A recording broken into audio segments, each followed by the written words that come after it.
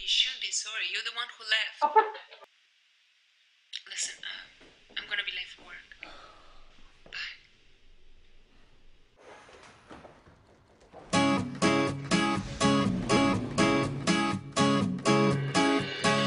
On the other side of the street I knew Stood a girl that looked like you I guess that's deja vu But I thought this can't be true Cause you moved to West LA Or Or Santa Fe Or wherever to get away from me. Oh, but that one night